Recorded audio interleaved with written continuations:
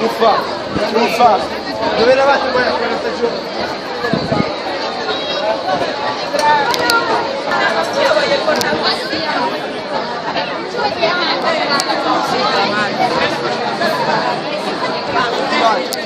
di